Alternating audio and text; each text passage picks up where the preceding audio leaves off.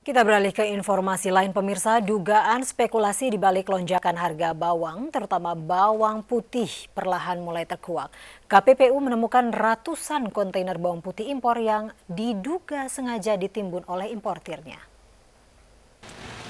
Saat melakukan inspeksi di tempat penitipan sementara di Pelabuhan Tanjung Perak, Surabaya, Jawa Timur, KPPU mendapati 394 kontainer berisi bawang putih impor dari Cina. Yang mengejutkan, ada 109 kontainer yang sebenarnya sudah memenuhi segala perizinan untuk keluar dari tempat penitipan sementara. Namun KPPU menduga importir bersangkutan sengaja menimbun bawang putih impor tersebut untuk memperoleh keuntungan berlipat. ada sekitar 109 kontainer bawang putih yang dari sisi persuratan ini sebenarnya sudah bisa keluar dari pelabuhan.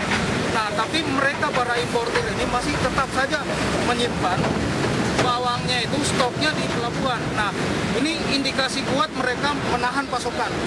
Mereka mengatur suplai ke bawang ke pasar sehingga harganya jadi naik. Pada saat harga naik itulah mereka keluarin. Nah, setelah harga turun nahan lagi, harga naik keluarin lagi. Nah,